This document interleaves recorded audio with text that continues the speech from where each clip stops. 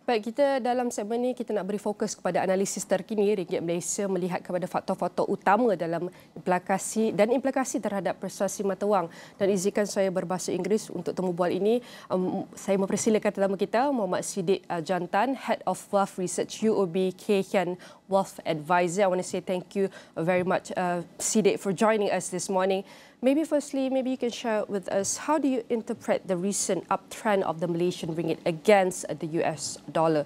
What are the key factors contributing to this trend and how sustainable do you believe it is in the near future? Hello, uh, can you hear me? Yes, I can hear you. Please proceed. Okay, yeah. Uh, our my forecast is for the ringgit uh, will be let's say, continue to be strengthened uh, for the year 2024. And uh, as I mentioned in the my previous uh, commentary uh, in the newspaper, that's uh, the first quarter is already let's say, achieved. That's uh, what we uh, what we forecast at the 4.70 uh, uh, per USD, and it will be let's continue to be let's strengthened in the quarter two. That's uh, we look at about at 4.5 uh, 5 to 4.50 uh, per USD. And in the second half year, 2024, as we expect that the Federal Reserve may cut the interest rate, uh, it will be like uh, strengthen our Malaysia ringgit uh, for the quarter three.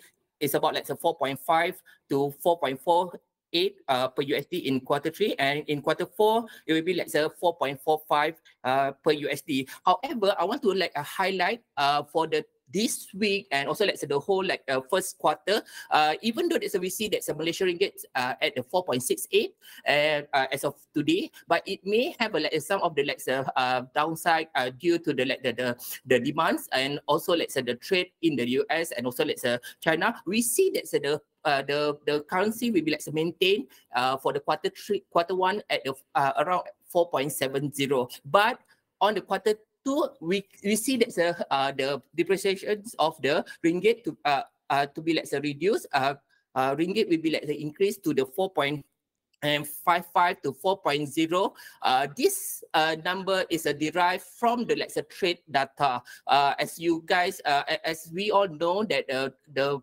the uh, the the what we call it said the the trade uh, the request for the uh, CPO futures last week is has been like say increase the spike for the uh, ringgit uh, as we know that the uh, CPO futures uh, contract is being like a trade in the Malaysia ringgit. So this is a one of the factor of the last week. The ringgit have been like this strengthened. All right, Siddiq. Okay, uh, next one, maybe you can say how significant is uh, Bank Negara Malaysia decision to maintain the OPR uh, at 3%? What implication does this decision have on the ringgit's performance, particularly in comparison to the US dollar?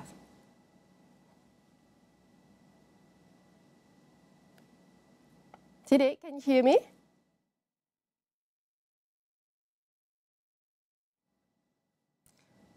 Baik, kita tengah ada masalah teknikal dan kita tengah uh, cuba untuk dapatkan uh, semula tetamu kita Encik Sidik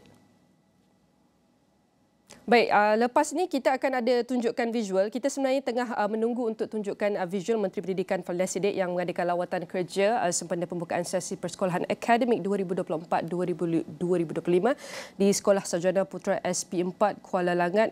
Dan selepas ini kita beliau akan mengadakan uh, sidang media. Kita uh, masih menunggu iaitu uh, ucapan daripada beliau dan kita masih lagi menunggu untuk update. Baik, uh, okey. Seperti yang difahamkan, uh, tetamu kita sudah kembali dalam talian. Mr. Siddiq, can you hear me? Yeah. Alright, uh, probably I'm going to uh, repeat my question. Uh, maybe you can share with us how significant is BNM decision to maintain the OPR at 3%. What implications does this, this decision have on the ringgit's performance, particularly in the comparison of the US dollars? Okay, uh, from my view, that the the decision for the uh, Bank Negara, uh, the MPC uh, committee, is quite like a line where that uh, we see if let's say that we in, we uh, the the the central bank have uh, need to increase uh, need need to dec- uh, decrease the uh, uh, what we call that uh, the the the the interest rate, it will be like a uh, give the impact to the our uh, financial uh, stability. But if or if let's say that so we want they want to increase the uh, uh the uh, the interest rate uh, from the three percent to the three point two five, it will give the spillover effect to the consumer uh, and also let's say the business owner. So I can say that uh, uh, it will be like a maintain for the interest rate will be like a, uh, for the at the three percent uh, for the whole year 2024 and it may have a a uh, maybe a one height uh, in the future in the 2025. So that's a uh, basically like the uh, I can say that uh, regardless that the, the interest rate uh, set by the bank uh, need to be like the uh, increase or decrease it may give a very less significant uh, impact uh, to the uh, economy.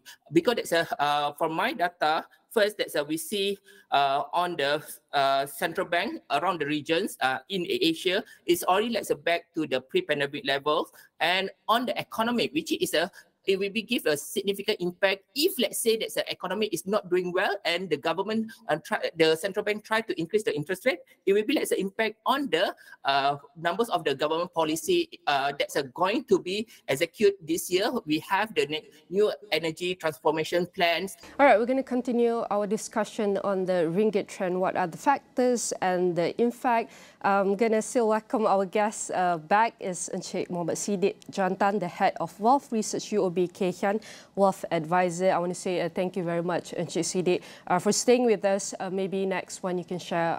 Uh, what about the Minister of Finance two, Datuk Sri Amir Hamzah, as well as Bank Negara have said that ringgit is undervalued given our strong economic data what specific economic, uh, we can say, indicators and factors uh, contribute to this assessment? And how do we determine the fair value of the ringgit uh, relative to its fundamentals and prospects? Okay, uh, regarding about what uh, uh, our uh, finance minister and also that's uh, the governor say that's uh, the undervalue of the Malaysia ringgit. Uh, basically, that's uh, what we see that uh, whether or not the uh, economic indicator uh, or the let's variables is be like the support of the strengthens of the economy or uh, uh, vice versa. But if let's say we see on the economic indicator, let's for example, there's a, uh, we have the uh, leading indicator. It's a bit like a uh, show improvement 0.3 percent, uh, which is uh, on the December. Uh, this is a show that's the uptrend after the 10 months uh, uh, of the let's say, drop. And also that's we see the unemployment index. Uh, the latest data have been shown that the uh, unemployment uh, rate at the 3.3%, which is uh, at the lowest uh, levels uh, since the pandemic. And also that's we have the uh, inflation, which is uh, uh, something like the uh, quite uh, stable. Uh, what I can say that uh, the headline inflation is about as a 1.5 and also let's core inflation at the 1.8. But uh, one thing that to highlight that uh, when we talk about the uh, uh, ringgit have been like uh, undervalued and also like the whether or not that uh, uh, uh, uh, the the the the the the the, the step taken by the, the the action taken by the governments uh, or the uh, central banks specifically uh, to maintain the interest rate. Is it is it have in terms of the like the uh, uh, economy? Uh, I would like to let's share on the let's say the loan growth of the uh, 2024 we forecast that the, the business loan growth will be let's say continue uh, uptrend at the 5% for the this year. Uh, based on the let's say last year it's been let's say doing well. The consumer loan have been let's say improved at the 6.1 percent uh, year on year in the 2023 and consumer uh, the loan application is been let's say improved uh, around 30.1 percent. So it showed that the people still have the let's say affordability and the business especially have a let's say uh, I can say that uh, have a let's say number of the order is need to be fulfilled and hence that they, they need to apply for the let's say loan uh, from the uh, bank. So I can say that the undervalue of the uh, ringgits and uh, also let's say uh, whether or not that's a uh, this ringgit can be let's say uh, strengthened in the future. My answer is a yes. It's a been say uh, strengthened and I can say that uh, like uh, like I mentioned just now that uh, for the this year 2024 we uh, at the UOB Wealth Advisor we target uh, we forecast for the ringgit to be let's say 4.45 and in the year 2025 it can be let's it's not impossible to be reached at the 4.10 uh, because uh, we need to look on the the, the uh, monetary policy that and also let's say fiscal policy that's a one of it that's uh, been announced last year uh, during the budget is uh, the financial responsibility act where that said the government try to achieve because that said uh, when we see that said the Financial Responsibility Act, I believe let's say announced uh, early of this year uh, during the budget 2024, uh, that's a said there's a government's uh, uh, what we call that said the uh, want to uh, reduce the deficit to the 3%. And if, let's say, that uh, the deficit is uh, managed to uh, hit at the 3% level, which is a take, took about like say three to five years. And I can say that uh, it's not impossible for the Malaysian ringgit to reach at the four ringgit per USD. But I can say that for the short term for the for the this year is a 4.45 for the 2025. If let's say that the economy have been let's say doing well, not just Malaysia but also let's say China because that's the correlation of the Malaysian ringgit it will be let's say quite close to the China China yen and it will be let's say about 4.2 uh, to 4.1 but if let's say that's a uh, the government policy uh, under the FRA managed to let's say set the deficit, managed to achieve the deficit uh, uh, from the budget at the four at the three percent, it's not impossible for the Malaysian ringgit to reach at the uh, four ringgit by 2026. All right. Um, to the engagement strategies employed by Bank Negara Malaysia to encourage continuous inflows into the foreign exchange market, what measures are being taken or should be taken to enhance investors' confidence in the ringgit and attract foreign investment into Malaysia? Uh, sorry, Mrs. Sedek, we have two minutes, please. Okay, uh, basically, so when we talk about the like uh, uh what to enhance the strengths of the uh, ringgit, uh, it need to be like so the pro-growth, pro-growth economic policy is is, is the key for the uh, government to attract uh, more foreign investor to be like uh, come to Malaysia. But I would like to en- enhance, even though that's a uh, the report have been like say show that the uh, foreign investor have been like say increased uh, last year, but and also let's say create the uh, number of the employ uh, what you call job opportunity. However, that's uh, the number of the job opportunity for the skilled worker is still like, a low. And if let's say that uh, we want to like exit from the middle middle middle trap uh, income issue, that's uh, we need to be like uh, increase the number of the job opportunities specifically for the uh, what you call it, uh, the, the the the skilled worker. And this will be increase our that's uh, the uh, first that's uh, will be reduced for the GD coefficient, meaning to say that uh, we can see that's uh, the the uh, the what you call that, so the equality uh, among of the let's say demographics in Malaysia. That's a second, that's a increase the purchasing purchasing power among of the Malaysians, and also that's a this thing I can say this can be uh, I mean that's a uh, achieved because that's a, we also have the uh, minimum wage policy and also that's a uh, under the PADU is give the uh, direct uh, targeted subsidy that's reduced the number of the uh, waste uh, of the government money to uh, for the unnecessary subsidy to the uh, uh, uh, overall uh, populations.